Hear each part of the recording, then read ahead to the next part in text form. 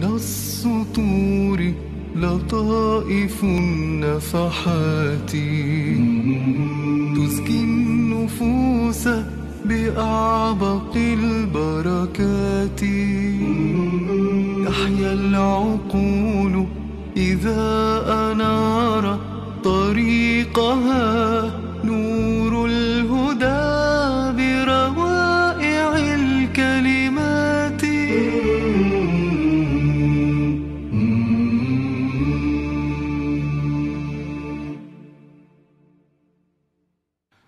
أعوذ بالله من الشيطان الرجيم. بسم الله الرحمن الرحيم. الحمد لله رب العالمين. والصلاة والسلام على سيدنا محمد وآله الطيبين الطاهرين.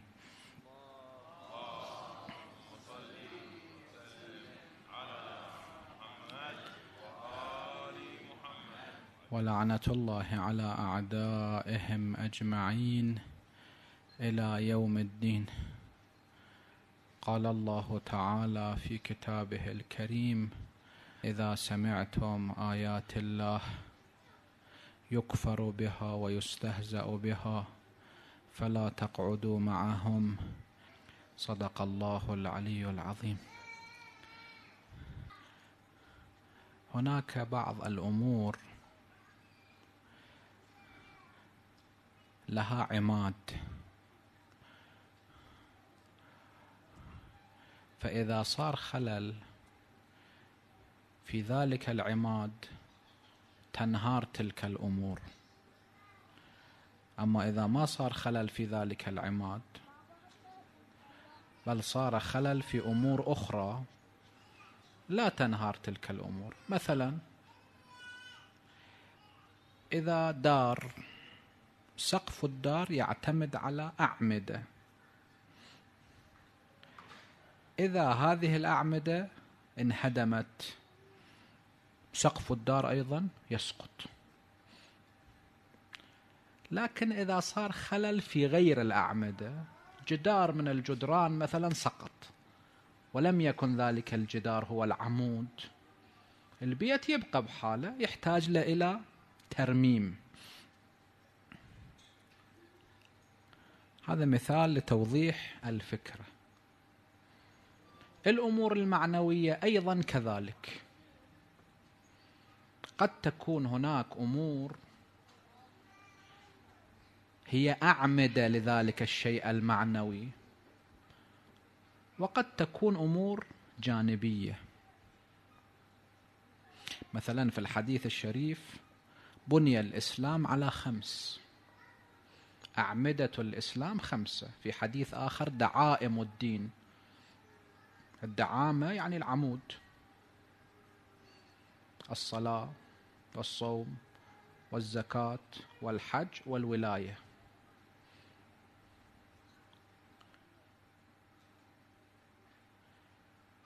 الدين كله في أصول وفي فروع.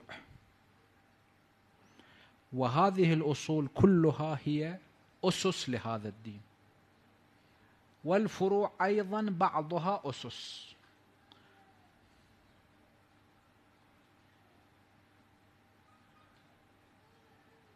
آيات الله سبحانه وتعالى هذه كلمة عامة. هذه الكلمة العامة يدخل فيها بعض الأصول وبعض الفروع.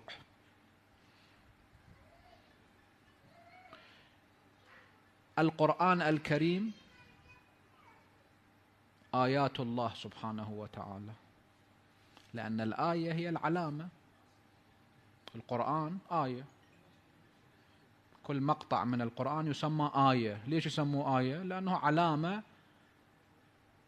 ودليل إلى الله سبحانه وتعالى. الرسول صلى الله عليه وآله آية علامة لله سبحانه وتعالى. الأئمة آيات الأحكام الشرعية الأحكام الشرعية أيضا آيات.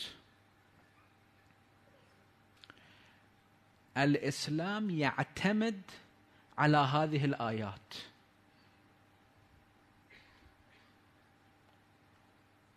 إذا هذه الآيات صار فيها في خلل في قلب إنسان أو في عمل إنسان راح ينهار الدين عنده.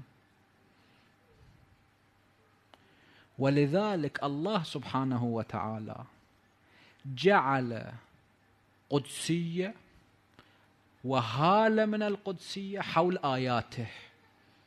ليش؟ حتى الدين لا ينهار في أذهان الناس. والذين يريدون إضلال الناس عن دينهم إنما يبدأون بالآيات. لأن آه هذه الآيات إذا انهارت في ذهن إنسان راح الدين ينهار عنده. لذا نشاهد المشركين في الصدر الأول بدأوا بشخص الرسول صلى الله عليه وآله. لأن الرسول هو أعظم آية لله سبحانه وتعالى. بدأوا بشخصه. هذا مجنون شاعر. يعني لو هذا ما كان جاي في آيات القرآن الكريم إحنا ما كنا نتجرأ أن نتكلم بهذا الكلام. كاهن. زين أساطير الأولين اكتتبها. لسان الذين يلحدون إليه أعجمي وهكذا من الترهات. الغرض شنو هو؟ الغرض أنه إذا الرسول صلى الله عليه وآله سقط من قلب إنسان معنى ذلك أن هذا الإنسان راح ينهار الدين في قلبه أيضا. فالمشركون بدأوا بهذا الأمر. والله سبحانه وتعالى ذكر كلماتهم وأكاذيبهم وأكاذيبهم ذكرها الله سبحانه وتعالى في القرآن الكريم. ليش؟ لأنه في طول التاريخ أسلوبهم كان هذا. يعني حتى الآن في يومنا هذا الشخص الذي يريد محاربة الإسلام يبدأ بالرسول صلى الله عليه وآله. أحد الإخوة نقل هو يعيش في أمريكا هكذا نقل. قال أنه خلال الأربعين سنة الماضية أو أقل عندما شافوا أهل الحل والعقد عندهم أن الإسلام في نمو سريع لأن الإسلام نور. زين؟ هذا النور أي واحد إلى عقل وإلى عين يشوف هذا النور يشوف أنه نور بعد. ما يحتاج أن تجي تجيب له براهين وأدلة وكذا. يعني الآن واحد يحتاج أن يذكر لنا أدلة بأنه الآن الشمس طالعة؟ لا. نعم إذا واحد أعمى بصير نقول له زين الآن الشمس طالعة. نخبره. أما إذا واحد عنده عين ويرى ما يحتاج أن تجيب له دليل على أن الشمس طالعة. الإسلام هكذا ما يحتاج لدليل لأن نور أي واحد عنده عقل هذا النور يدخل في قلبه. ولكن جعلناه نورا نهدي به من نشاء. إي إذا واحد قلبه أعمى هذا ما يشوف هذا النور. زين. عامة الناس هم مو معاندين. يعني حتى الكفار الناس عندهم مو معاندين غالبا. المعاندون إنما هم أقلية قليلة. أما غالب الناس من الكفار والمخالفين هؤلاء جهلة. ليسوا معاندين. زين. الإسلام بدأ يكتسح. فكيف يمكن إيقاف مد الإسلام؟ إنما يمكن إيقاف مد الإسلام ما تقدر أنه هذا النور الطفي يريدون أن يطفئوا نور الله وفي آية أخرى ويريدون ليطفئوا نور الله بأفواههم. ما يمكن هذا الأمر.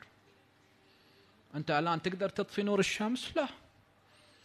فكيف تسبب أن الناس لا يرون نور الشمس؟ تجعل بينهم وبين الشمس حجاب.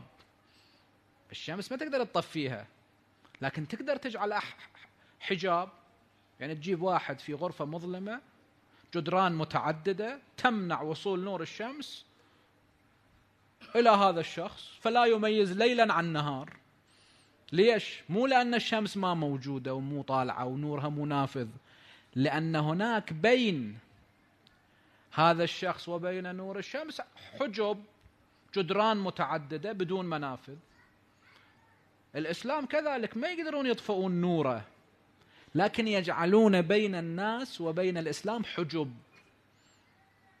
حتى لا يرون هذا النور بقلوبهم.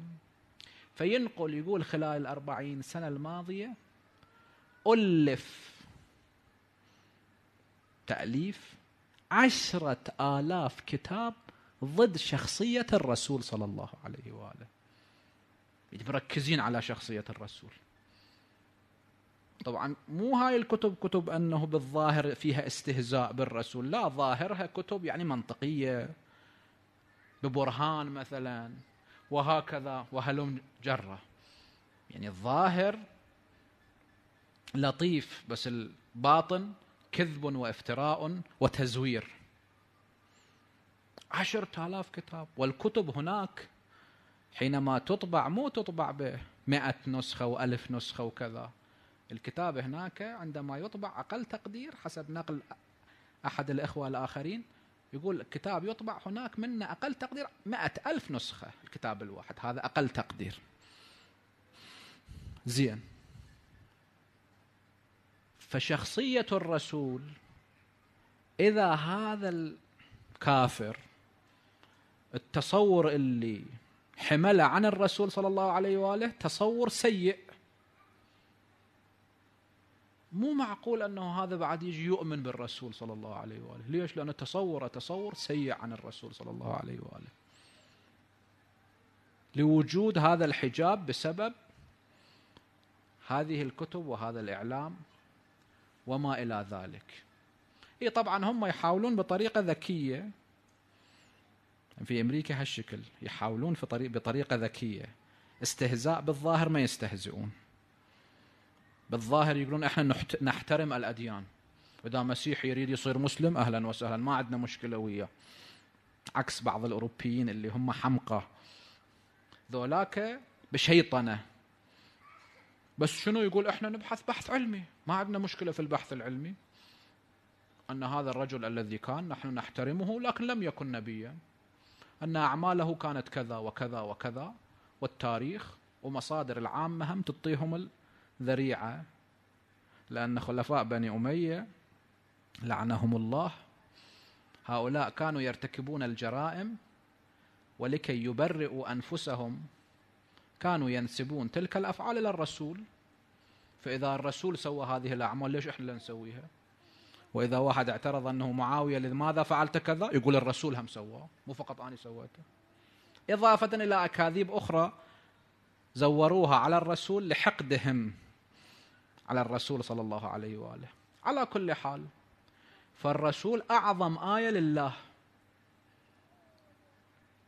يحاولون إسقاط هذه الآية، إذا سقطت هذه الآية بعد واحد هذا ما يصير متدين.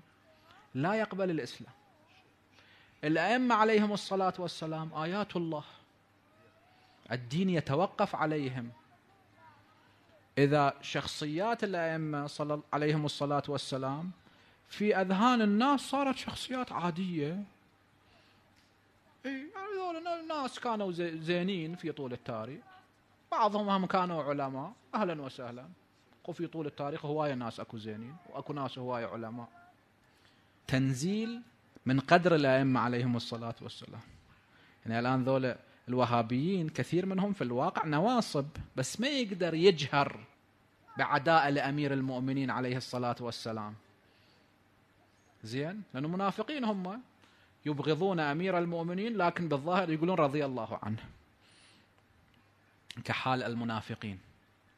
ولكن شنو؟ ولتعرفنهم في لحن القول. المنافق تعرفه من لحن القول. أي مكان يصير فضيلة لأمير المؤمنين يحاول إما تضعيف السند أو تعميم القضية. هاي مو فضيلة بقية المسلمين هم نفس الحالة. إسقاط شخصية الأئمة عليهم الصلاة والسلام لأجل إسقاط الدين. من آيات الله عز وجل؟ الأحكام أحكام الشرع. أحكام الشرع أيضا آيات لله. علائم لله. لأن هذه الأحكام صحيحة مئة بالمئة. الأحكام الوضعية الفرق بينها وبين الأحكام الشرعية. الحكم الوضعي مجموعة عقلاء يجلسون ويضعون قانونا. بعد فترة يتبين لهم خطأ هذا القانون. يغيروا. أو يتبين خلل في هذا القانون. يحاولون يكملوه. بتشريع جديد. لماذا؟ لأنه يرون جانبا ويغفلون عن جوانب أخرى. وهذا شيء طبيعي. لكن الله سبحانه وتعالى الذي خلق الإنسان وهو الخبير بكل خصوصيات الإنسان وخبير بما يصلح الإنسان عما يفسده الله سبحانه وتعالى هو الذي شرع هذه الأحكام. نحن نعتقد أن التشريع لله سبحانه وتعالى ولو أن الرسول صلى الله عليه وآله أيضا مشرع ولكن بتعليم من الله سبحانه وتعالى. يعني الرسول أيضا يشرع لكن تشريع الرسول ليس اعتباطا. أكو في الحديث الشريف إن الله أدب نبيه بآدابه ففوض إليه دينه. الرسول صلى الله عليه وآله يصدر حكم أيضا. لكن هذا الحكم بتعليم من الله سبحانه وتعالى. وهذا تشريف للرسول. يعني مرة الحاكم يصدر قانون هو يوقعه مرة أخرى يقول لأحد الوزراء أنت صدر هذا القانون ووقع عليه فإذا الوزير صدر القانون منو صدر القانون؟ الوزير. ولكن بتعليم من الحاكم. هذا تشريف. الله سبحانه وتعالى أراد أن يشرف الرسول ويرفع من شأنه. فلذا بعض الأحكام فوضها إلى الرسول. يعني علم الرسول صلى الله عليه وآله الحكم الرسول يصدره بتعليم من الله. تارة الله مباشرة يصدر الحكم. هي الفرائض وأخرى الرسول يصدر الحكم لكن بتعليم من الله اللي هذه سنن الرسول صلى الله عليه وآله. أحكام الشرع الذي خلق الإنسان هو الذي شرعها أو علم الرسول لتشريعها صلى الله عليه وآله. لذلك هذه الأحكام متطابقة مع الواقع مئة بالمئة. متطابقة مع فطرة الإنسان مئة بالمئة متطابقة مع تركيبة الإنسان الجسدية والنفسية والعقلية والروحية مئة بالمئة. فهذه الأحكام قوام الدين بها. يعني إذا أنتم شفتوا واحد يتشهد الشهادتين بس ما يصلي ما يصوم ما يحج ما يزكي زين؟ لا يتورع عن المحرمات ويترك جميع الواجبات. هذا بالظاهر مسلم هو بالواقع مو مسلم. لو كان بالواقع مسلم لالتزم بالأحكام. والذي يترك بعض الأحكام دون بعض أكو ناس يصلي لكن يستغيب يصوم لكن يأكل أموال الناس بالباطل يحج لكن يرابي. فهذا في إسلامه ضعف. ناقص الدين. أما إذا ما ملتزم بأي حكم من الأحكام هذا أصلا مو متدين. ولو في الظاهر إذا تشهد الشهادتين يحكم عليه بأحكام الإسلام الظاهرية. لكن في الواقع هذا ليس مؤمنا. اذا أحكام الشرع أيضا هي آيات لله علائم لله. الله سبحانه وتعالى حول القرآن الكريم يقول ولو كان من عند غير الله لوجدوا فيه اختلافا كثيرا. الرسول صلى الله عليه وآله خلال 23 سنة نزل عليه القرآن وفي ظروف مختلفة وفي حالات مختلفة. زين؟ وبين هذا الكتاب الذي موجود في القرآن والقرآن هم متطرق لكل شيء. ماكو اختلاف ماكو تناقض. هذا من علائم صدق هذا القرآن. وأنه من الله سبحانه وتعالى. ماكو مؤلف من المؤلفين إذا خلال فترة طويلة ألف كتاب ما يصير تناقض في كتابه. إلا إذا كان معصوم. ليش؟ لأن الإنسان ظروف الظروف تتحكم فيه. علمه يزداد. يعني يوم من الأيام عنده رأي بعدين يشوف أنه هذا الرأي لم يكن صحيحا يتغير رأيه. حتى لو كان أعلم العلماء. إذا خلال فترة طويلة. لذا إحنا نشوف حتى الفقهاء الذين صرفوا عمرهم في الفقه والأصول والروايات بعض الأحيان يتبدل رأيهم. يعني شنو يتبدل رأيه؟ يعني شاف الأدلة الشرعية توصل إلى قناعة بس ازداد زاده الله علما بعدين بالتحقيق والمطالعة يشوف أنه كان قد غفل عن دليل من الأدلة. فرأيه يتبدل. وهذا أمر طبيعي. غير المعصوم ما عندنا واحد اللي لا يتبدل رأيه رأيه. فالأحكام الشرعية متطابقة مع فطرة الإنسان مئة بالمئة مع عقل الإنسان مع تركيبة الإنسان الجسدية والنفسية. هذه الأحكام آيات من آيات الله سبحانه وتعالى. التنقيص من هذه الأحكام أو التشكيك فيها هذا يصب في الجانب الذي يراد منه إزالة الدين. لأنه هذه أعمدة مثل ما ذكرنا. أي عمود ينزال وينهدم قسم من السقف ينهدم أيضا. أي حكم من أحكام الله سبحانه وتعالى مقدس هذا الحكم. على الإنسان أن يلتزم بذلك الحكم وأن يعتقد به. أنه هذا حكم الله سبحانه وتعالى. يعني أفرض أنا رجل الحجاب مو واجب علي. وأنا ما ملتزم بالحجاب لأنه الحجاب مو تكليفي. لكن يجب علي أن أعتقد أن هذا الحكم هو حكم الله. إذا مجموعة من الأصوليين يقولون الموافقة الالتزامية واجبة. أعتقد بأنه حكم من أحكام الله. سبحانه وتعالى. أما إذا الإنسان بعض هذه الأحكام بدأ يشكك فيها يستهزئ بها. شايف حتى بعض المتدينين حتى بعض الأحكام الشرعية يقول شنو هذا الحكم؟ أو استخفاف بذلك الحكم. هذا استهزاء بآية من آيات الله. استخفاف بآية من آيات الله حتى لو حكم جزئي. واحد من الناس كان يقول مثلا من المستحبات شنو هذا الحكم؟ أنه إذا أنت أردت أن تدخل في المرافق الصحية تقدم رجلك اليسرى وإذا أردت أن تخرج من المرافق الصحية قدم رجلك اليمنى. وبالمسجد بالعكس إذا تريد تطب المسجد فاجعل رجلك اليمنى أول قدم تضعه في المسجد وإذا خرجت بالعكس. شنو هذا الحكم يعني؟ شنو الفرق يعني؟ زين أنت تعتقد بأن هذا الحكم ذكره الرسول أو الأئمة عن الله سبحانه وتعالى؟ قال إيه. قلت له زين أنت عرفت أو ما عرفت لازم تسلم بهذا الحكم. أنت إذا رحت إلى طبيب والأطباء قد يخطئون. الطبيب اعطاك نسخة دواء ومنعك عن بعض الأطعمة. يمكن تسأله لماذا هذا الطعام ممنوع علي؟ يقول لك للعلة الكذائية. شنو هذا الدواء؟ يقول لك للعلة الكذائية. قد لا تفهم ما يقوله الطبيب. ليش؟ لأن هذه أمور تخصصية. وأنا مو تخصصي مجال الطب. لكن ما دام أثق أثق بهذا الطبيب ألتزم به بكلامه.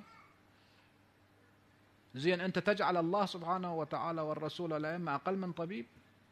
هذا الحكم إذا أنا ما أفهم شنو السبب ما ألتزم به. زين وإذا ما فهمت يعني إذا ما فهمت الحكم يعني غلط؟ إحنا شايفين بعض الناس يجي حول بعض الأحكام. لماذا هذا الحكم كذا؟ زين تشرح له. قل له اولا إحنا كثير من الأحكام لا نعلم عللها. ندري أن الأحكام تابعة للمصالح والمفاسد لأن الله سبحانه وتعالى حكيم.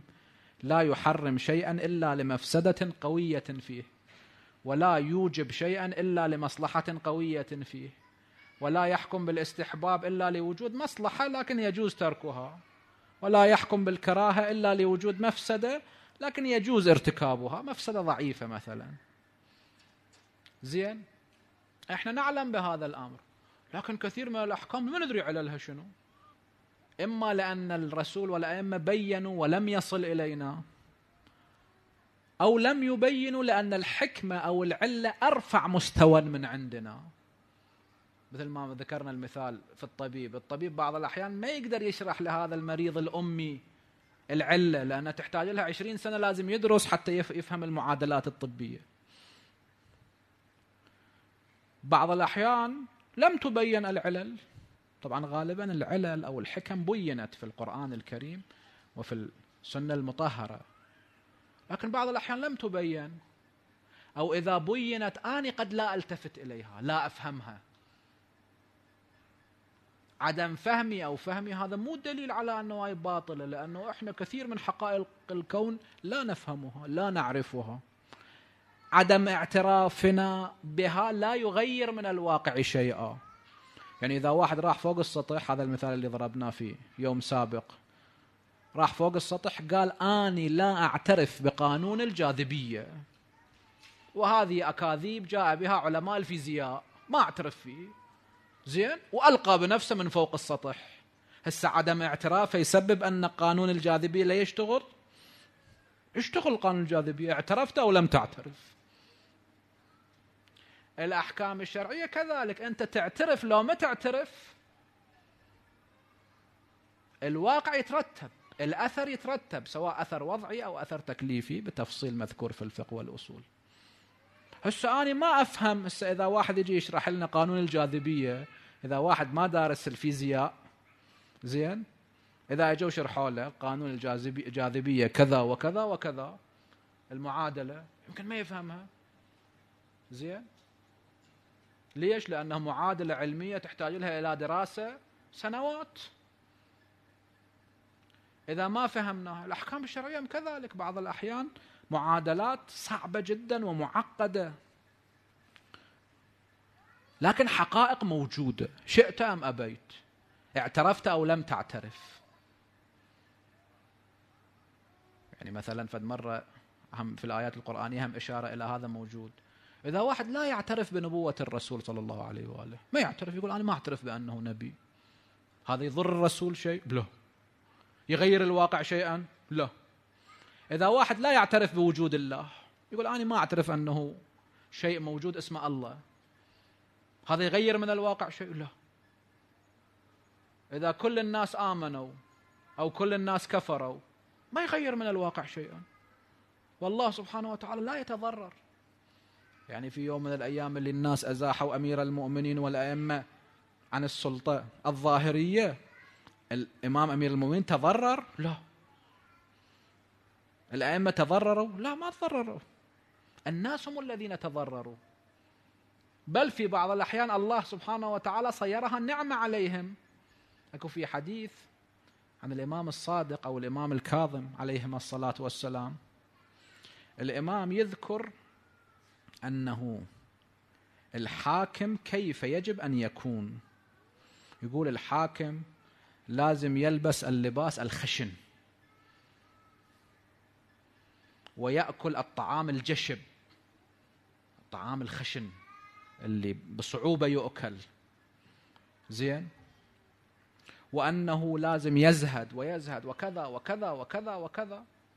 وكلنا نعرف سيرة أمير المؤمنين عليه الصلاة والسلام. طبعا هذا الأسلوب كان في زمان حكومة الإمام عليه الصلاة والسلام وإلا في أيام اللي الإمام كان مزاح عن السلطة كان يعيش حياة عادية. لكن هذه شدة الزهد في فترة الحكم كان لأن الله سبحانه وتعالى يريد من الحاكم أن يكون هكذا لئلا يتبيق بالفقير فقره. إذا كفت فقير زين ألبسته مرقعة مثلا طعامه كذا يشوف يقول خو الحاكم هم نفس الشيء. لا يتبيق يعني لا يهيج بالفقير فقره. فالإمام الصادق أو الكاظم عليهما الصلاة والسلام يشرح يقول أنه الحاكم المفروض عليه الواجب مو فقط لازم الواجب أنه يعيش هكذا الطعام الجشب واللباس الخشن زين والزهد وكذا وكذا وكذا. زين يقول ذولا أزاحونا عن السلطة. إحنا الآن مو حكام بالظاهر. هذا التكليف هم الله سبحانه وتعالى رفع عنا لأن الحكم تابع للموضوع. إذا أنت في بلدك تصلي تمام. إذا سافرت بشروط السفر تصلي قصر لأن الحكم تابع للموضوع. إذا الإمام الصادق حاكم لازم يلبس اللباس الخشن الثوب الخشن. والطعام الجشب. لكن إذا مو حاكم هذا الحكم ينرفع منه. فالإمام عليه الصلاة والسلام يقول له إن ذول ظلمون أزاحانا عن السلطة. هذا الحكم الصعب. الله سبحانه وتعالى مشاله من أعناقنا. وإحنا مظلومين نثاب على ظلامتنا. فهل رأيت ظلامة صيرها الله نعمة؟ يعني الآن أني مو مضطر أنه آكل الطعام الجشب وألبس الثياب الخشنة. زين أعيش حياة عادية. وفي الوقت نفسه أثاب على ظلامتي. فهل رأيت ظلامة صيرها الله نعمة؟ الحكم تابع للموضوع. زين هسه المقصود شنو هو؟ المقصود أن أحكام الإسلام هي أحكام كل حكم من الأحكام آية من آيات الله. حتى الحكم البسيط اللي ذكرناه هذا العلة قد لا التفت آني هذه العلة. قد يكون مصلحة في المتعلق وقد يكون مصلحة في الحكم لأن الله سبحانه وتعالى يريد يربط حياة الإنسان دائما بالدين مثل الهواء. شلون أنت حياتك متوقفة على الهواء؟ كل لحظة لازم تتنفس. في نوم في يقظة في الدار في خارج الدار. الدين هم مثل الهواء اللي تتنفس. حتى إذا تريد تروح للمرافق الصحية لازم يكون مرتبط بالدين. دخولك في المرافق الصحية خروجك من المرافق الصحية. حتى أكو أدعية خاصة. زين؟ حتى حياة الإنسان كلها تكون مرتبطة بالدين مثل الهواء اللي يتنفسه. ولعل هناك حكم أخرى إحنا لا نعلمها لأن الله سبحانه وتعالى يقول يعلمون ظاهرا من الحياة الدنيا ظاهر. الواقع لا نعلمه وهم عن الآخرة هم غافلون. لذلك أحكام الله سبحانه وتعالى مقدسة. هذه الأمور المقدسة لازم تكون حولها هالة من القدسية. والمبطلون يحاولون إزالة هاي الحالة هالة من القدسية. لأنه لما هالة من القدسية موجودة الإنسان مرتبط. إذا هاي الهالة من القدسية ما موجودة الإنسان يعني أنت مثلا إذا شفت فد واحد في الشارع تعتقد بأنه هذا من العلماء من المراجع كذا. تحترمه. زين تحاول أنه أمامه لا تقوم بحركة غير لائقة. لكن إذا هذا الشخص صار عندك فد شخص كذاب حيال مثلا تحترمه؟ لا. إذا هالة القدسية حول زالت تحترمه؟ لا. أحكام الشرع كذلك. لذلك المبطلون يحاولون من طرق مختلفة. إزالة هذه الهالة المقدسة اللي موجودة حول الأحكام. من جملتها أن الإسلام جعل حواجز بين الإنسان وبين المحرمات. حواجز. إذا رايحين في حدائق الحيوانات بلا تشبيه الحيوانات المفترسة تشوف بين المتفرجين وبين هذه الحيوانات أكو حواجز متعددة. ثلاثة بعض الأحيان أربعة. ما يخلوه فقط في قفص. يخليه في قفص بعض الأحيان يخليه تور. بعض الأحيان تشوف أنه بين المتفرجين وبين القفص يخلون أمتار أيضا حواجز أخرى. حتى هذا المتفرج لا يكون عند القفص لعل هذا الحيوان أخرج يده من القفص مثلا أو آذى هذا الإنسان. بلا تشبيه هذا لتقريب الفكرة إلى الذهن. الله سبحانه وتعالى جعل حول المحرمات حواجز. حواجز حتى الإنسان فجأة لا يقع في تلك المحرمات. أكو في حديث أنه في زمان أمير المؤمنين هذا في السابق كان مو مثل الآن كانت الحيوانات كل الناس يشوفوها إما في حديقة الحيوانات أو في التلفاز. فإذا فت حيوان مثل أسد مثلا أو نمر أو ضبع أو كذا واحد كان يصيده يريد يجيب الناس يتفرجون. على ذلك الحيوان كان يحفر حفيرة تسمى باللغة الفصحى زريبة. يحفر حفيرة ويضع ذلك الحيوان في تلك الحفيرة والناس يجون أطراف الحفيرة يشاهدون هذا الحيوان. وصار في زمان أمير المؤمنين واحد كان مسوي حفيرة وفيها حيوان مفترس سبع يعني أسد. والناس دا يتفرجون وواحد زلت قدمه وسقط في الحفيرة. وهو دا يسقط تعلق بشخص. وذاك الشخص أيضا جر وياه. والشخص الثاني تعلق بشخص ثالث والشخص الثالث بشخص رابع. فسقطوا جميعا أربعتهم في الحفيرة وافترسهم السبع. واجوا عند أمير المؤمنين يسألون في الدية حول الدية. الشخص الأول هدر دمه. ليش؟ لأنه هو وقع ما حد وقعه. لكن الشخص الثاني سبب سقوطه أن الشخص الأول تمسك به متعلق به فلذلك ورثة الشخص الأول لازم يدفعون دية للشخص الثاني. كم مقدار الدية؟ هذا بعد تفصيله في كلام أمير المؤمنين والفقهاء ذاكرين في الكتب الفقهية. وهكذا الشخص الثاني والثالث. الشاهد أن الإسلام جعل حواجز عن المحرمات. من جملة تلك الحواجز الاستبشاع أمر بشع. يعني إذا إحنا فد سمعنا فد واحد شرب خمر نستبشع. لكن إذا قالوا فلان اغتاب ما نستبشع. وإذا ما استبشعنا أمرا يمكن إحنا هم نرتكب ذلك الأمر. ولذا الغربيين من الأشياء اللي يسووها يحاولون إزالة هاي الاستبشاع الحالة من الاستبشاع من المحرمات. واحد كان مسوي تقرير حول إحدى القنوات الفضائية اللي يملكها أمراء آل سعود في لندن لها عدة آه، يعني عدة قنوات هي بس باسم واحد. مسوي تقرير واحد هم من جماعتهم يعني واحد سلفي.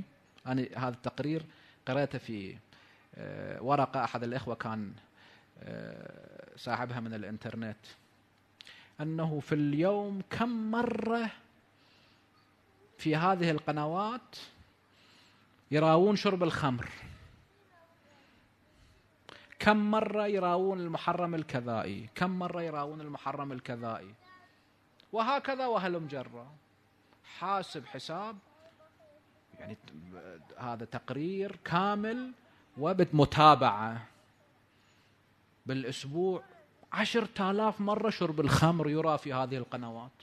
زين أنا أشوف مثلا هذا الطفل قاعد أو هذا الرجل أو هذه المرأة وبعض هذه القنوات كثيرة المشاهدة.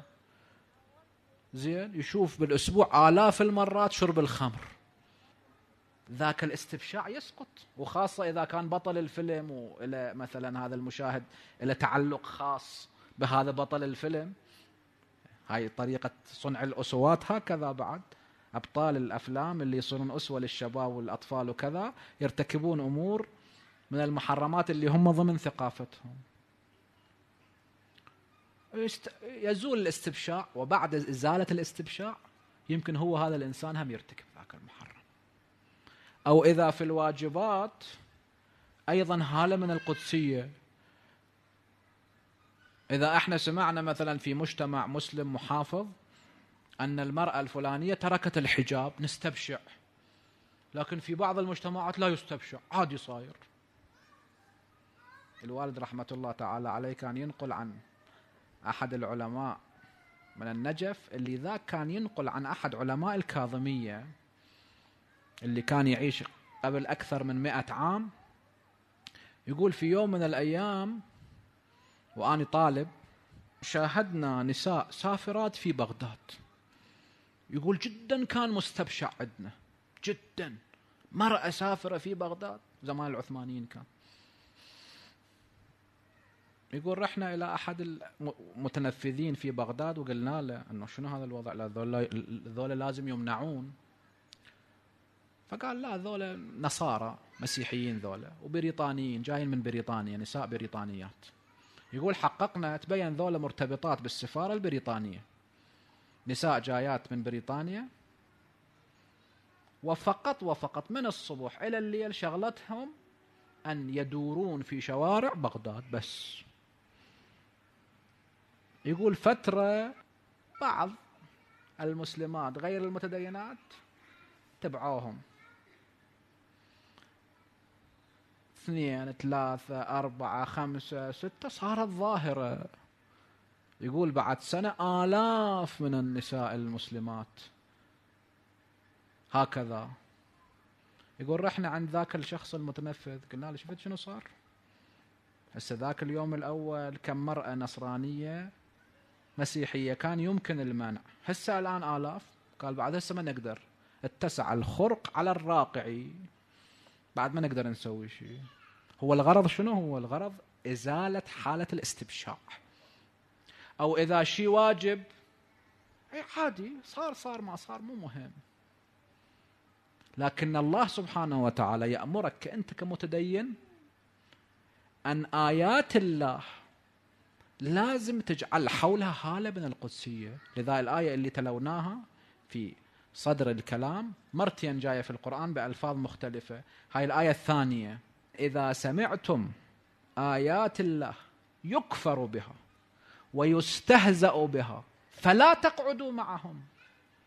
إذا في مكان شفت دا يصير استهزاء بالله بالرسول بالإمام بحكم من الأحكام الشرعية استهزاء متعمد استهزاء بقصد الاستخفاف استهزاء بقصد التنكيت مثلا نكتة.